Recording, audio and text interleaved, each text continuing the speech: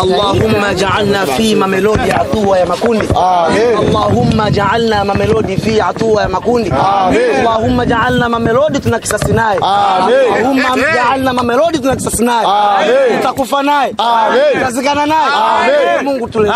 Amen. Basi tuinuke. Mwaka jana wakati unapangwa draw ya makundi tulikuwa tukisikia jina Mame tunajificha ficha hivi tumkwepekwepe. Mwaka huu tunatangaza hapa hadharani, kama kuna timu tunaitamani hatua ya makundi ni Mamelodi Sundowns. Kama CAF kanuni zitaruhusu tucheze naye mechi mbili, afu mtu afuzu robo fainali, yani asiwe kundi letu asiongezwe mtu mwingine, twende wawili tu sisi na yeye, mechi nne nne kwao nne kwetu, alafu tukubaliana nani anakwenda hatua ya robo fainali. Nani anazungumza Kisauzi hapa? Hamna. Tungepeleka ujumbe wa Kisauzi, pengine hawaelewi Kiswahili. Kunja ni mfeto makundi, hiyo hiyo Kunja ni mfeto. makundi. Tunawataka Mamelodi makundi. Tumeangalia timu zote, kuna Belouizdad yule ni kibonde wetu kabisa, tutakuja kumuonea.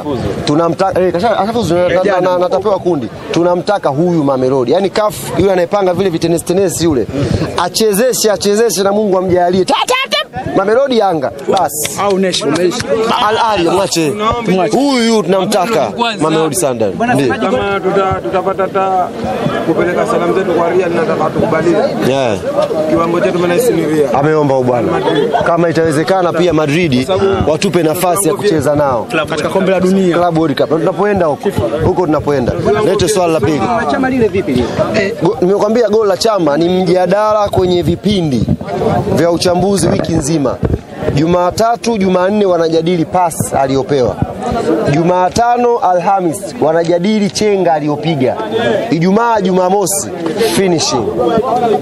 Wiki nzima wachambuzi watakuwa na kazi hiyo, na chama kafunga hili goli kwa sababu ya hao wachambuzi.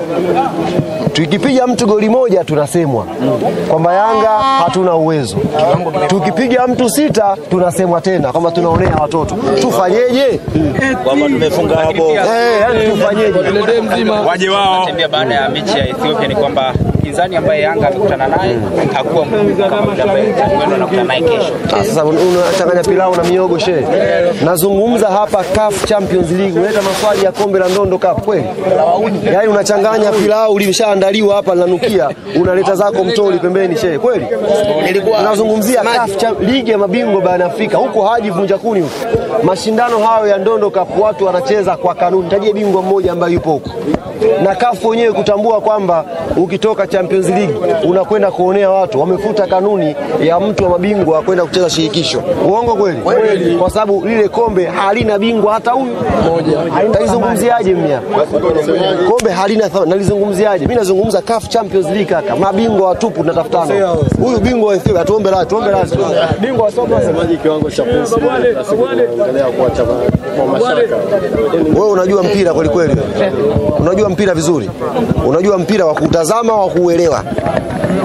Prince Dube amecheza dakika ngapi? Ameingia dakika 65 uwanjani, kacheza dakika 25, katoa assist mm. ya goli la Mudathiri. Haya, amekuja amecreate nafasi nyingine ambayo ilikuwa ni attempt ya goli. Mtajie mshambuliaji duniani mwenye namba hizo naye dakika 25 hakuna. Ma- Tupata sita, wataka mayapi? Wataka wewe? Sasa na, na namna ambavyo wachezaji leo wamecheza na kauli ambayo inasema watu wanakuwa wanategemea mchezaji mmoja. Kwani hii imekaje? Sisi leo tulichokifanya hapa ni kama zamani kwenye familia, tumefungua kabati na tumeonyesha tuna nguo nyingi za sikukuu. Si una Idi, Idi, unajua Idi ina, ina Idi mosi, ina Idi pili, alafu ina Idi tatu. Ukifunga sita unapiga na Idi nyingine ya sita, ndio kabati la Gamondi. Yani akifungua hivi anaweza akaweka ucho nje akavaa nguo ya Mkude, na Mkude naye pia simemwona leo, nimeona message moja Makola kwa wanajadiliana, huyu mzee au sisi ndo wazee, wameulizana. Wameulizana, huyu ni mzee au sisi ndo wazee. Amemtoa ucho kamleta Jonas Mkude leo, mambo yamekwenda vizuri. Kuna sabu ilifanyika, tulimtoa Pakome akaingia azizikii Hivi nyinyi muogope vitu hivyo? Yaani una change tu, tunamtoa Maxi anaingia Duke Abuya, unamtoa Mzize anaingia Prince Dube. nyie muogopi?